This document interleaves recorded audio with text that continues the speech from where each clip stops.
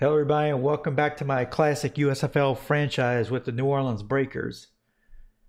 We are in the NFC Conference Championship game, and we're going to be facing the New York Knights, the number one seed, who are 15 and 2. They got to this round by barely escaping the Oklahoma Outlaws last week, 34 to 31. And the winner of this conference championship game will be playing the Jacksonville Bulls in the inaugural Classic USFL championship game as the Bulls defeated the Dragons 33 to 10. As I did live stream that game on this channel. If you're interested, go ahead and take a look at that. Let's go ahead and do a quick preview of the New York, New York Knights. So as you can see, the New York Knights, you know, if you've been paying attention, have been dominating the league all year, maybe along with Jacksonville. They are first in passing yards, passing for 292 per 292 yards a game. They're second in points scored with 26.2 a game. And they're also first in taking the ball away on defense with 20 takeaways. And they're also first in points given up per game at 15.6. So they've just been dominating all year. You know, when you win 15 games, that's pretty much what you do. And you can also notice on the injury report, they're they're totally healthy. They have no injury, no injuries whatsoever. Let's take a quick look at the last few games they've had, and then we'll go in game. So the, Knights have won their last seven games, including the playoffs. As you can see, they've just been dominating opponents. You know, on defense especially. You know, giving up six points to the Stars, ten points to the Dragons. You know, Dragons made it to the AFC Championship game. The Federals only scored 14 on them. Michigan Panthers only scored six. So just a totally dominating team. We actually did play the Knights earlier on in the season, if you recall. Way back in week two, uh, we lost the Knights 31 to 17 at New York. So if you remember, we started off 0 and 4. The Knights were one of the teams we lost to. So that let's go ahead and go in game, and there might be just a few things we need to do before kickoff, and then we'll we'll see what happens in our in our in the NFC Championship game. Well, unlike the team we're facing, we do have a couple players who are going to be out this game, and so that's going to leave us a little bit short numbers wise at the guard position and the corner position.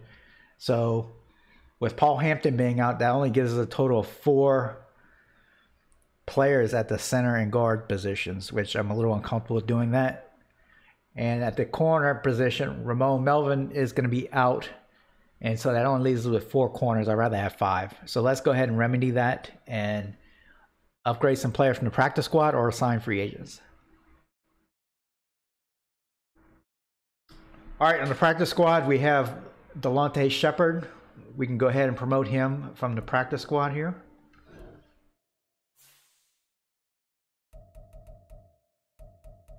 That should take care of the guard position. And at corner we have Jamichael Stapleton, but he's very low at 61 overall. Let's let's see if maybe there's somebody in free agency or somebody we can if there's a, a better player we can promote to the active roster. Deontay Presley looked like he'll work just fine. He's a scheme fit man to man corner. He can also play some slot and zone. So, yep, 2.2, 2.15 million dollars. I think it's worth it to try and get a USFL championship here. Let's go ahead and sign him.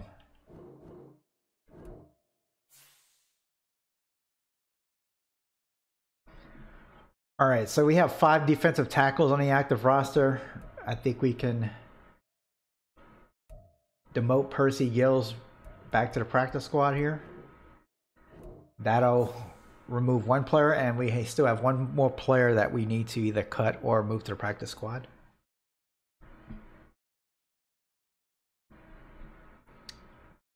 All right, and we have five outside linebackers. we definitely don't need that. Lucas Valentine, I think. Uh, I want to keep. I have to keep him. So we, I'm gonna have to cut somebody off the practice squad. So let's go ahead and do that first. Okay, we can now move Lucas Valentine to practice squad as I released one of our very low rated practice squad members there. And let's just make sure our depth chart is in order. First at the corner position.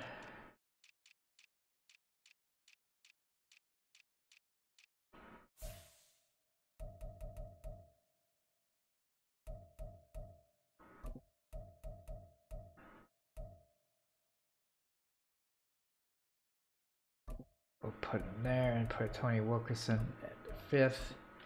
And let's check our slot corner here.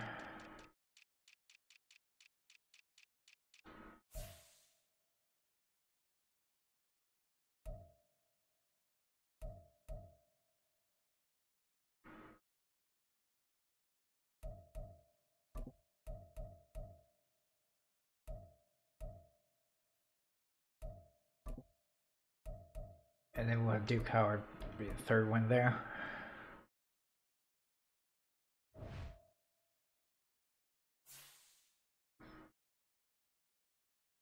All right, and looks like we have a scenario here, hot opponent. Speak about ending your opponent's win streak.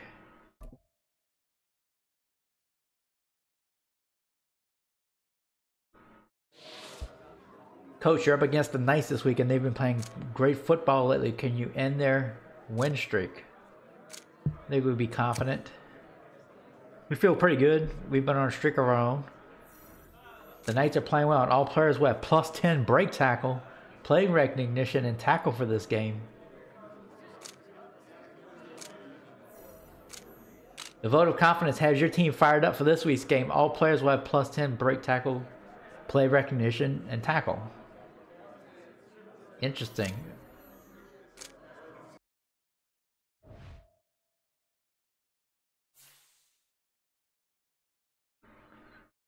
All right, and I notice we have some staff points. We have 64 staff points available. Let's see if we have any helpful upgrades that we can make.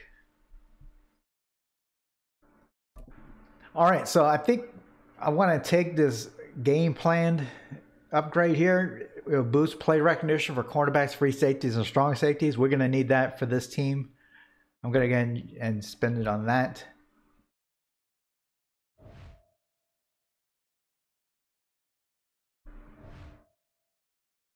And with that, I think we're ready to play our game. Uh, hopefully, we can continue on hot streak, and and it will certainly be an upset if we can do this. But let's see if we can beat New York.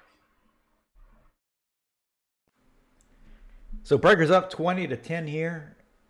Knights driving in in Breakers territory, and Addison, the Jordan Addison, the receiver for the Knights, gets the touchdown cut the lead to three points, and it is now is going to be 20 to 17 breakers in the fourth quarter. Knights driving again at the breakers 10 yard line as Curtis drops back drops back to throw, and he is short of the first down. That's going to make it fourth down in inches. Only a minute left in the game.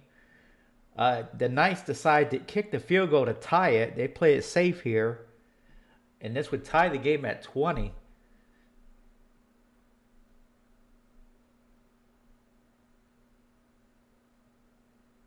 And the kick is good and only 30 seconds remaining in the fourth quarter. Now the Breakers, with two seconds remaining, attempt a 65-yard field goal. And this kick almost made it, but it it was I think it was long enough, but it didn't go through the uprights, so the game goes into overtime. In overtime, the Knights are driving. They're at the Breakers' 24-yard line as Curtis drops back to throw. And he throws a strike in the end zone for a touchdown. But the overtime rules in the playoffs is both teams get the ball at least once, even if there's a touchdown scored. So the Knights go up 27 to 20, but the Breakers do get a chance to possess to possess the football. Breakers driving here, third down and seven. This is just a crazy turn of events here. Goldberg is in the shotgun right here. He drops back to throw, can't find anybody. He fumbles the football, recovers his own fumble, but he gets hurt on this play. You can't see it. So uh, the backup quarterback, Stephen Monroe, a rookie who hasn't played a snap all season long, on fourth down and 15. Breakers need a prayer here. And Monroe throws it deep into the end zone and would you believe it? Byers catches the ball in the end zone for a touchdown. That is Mike Byers. And the Breakers end up tying the game in overtime with the backup quarterback throwing his first pass of the season. And that was just an unbelievable turn of events there. And just what was a crazy game.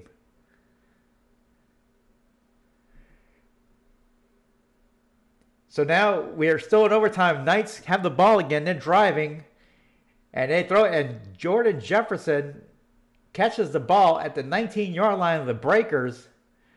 So the Knights aren't going to take any more risk here. They're going to kick a field goal here to try and win it in overtime. And the Knights kicker misses the field goal. It hits the upright, misses a chip shot, 35-yard field goal and the game is going to remain tied in overtime. And the Knights coach can't believe it. So now we're double overtime. The Knights have the possess the ball here. Curtis is back to throw, and Duke Howard, number 40 for the Breakers, picks off the football. And that gives the Breakers good field position at the 42 yard line of New York. And this is just a crazy crazy overtime period here. Breakers have the ball third down and 10. They're still at the 42 yard line of New York. They can't, they haven't been able to gain any yardage. And Goldberg drops back to throw, and he can't connect to the receiver there, and that's going to make it fourth down. Breakers decide to punt here.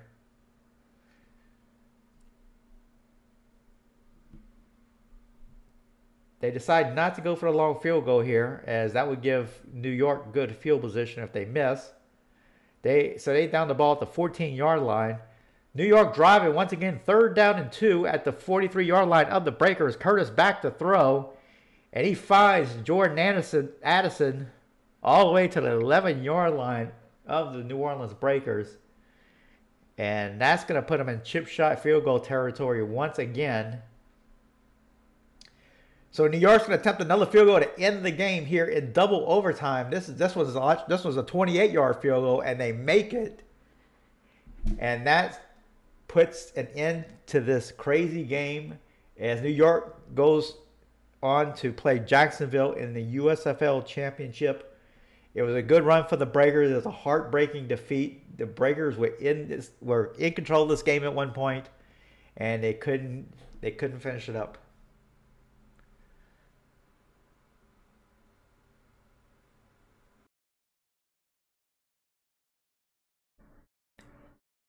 Well, after that crazy game, we have this scenario we still need to uh, go to. Let's see what uh, we have in store for us there.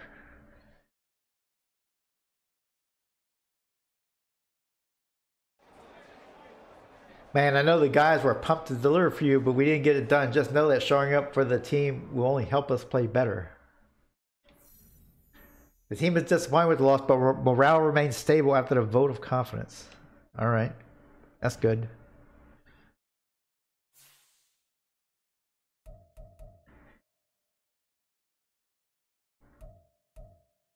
So talking about the game for a second. What what what a crazy game. Uh, right? uh, if I could find the game.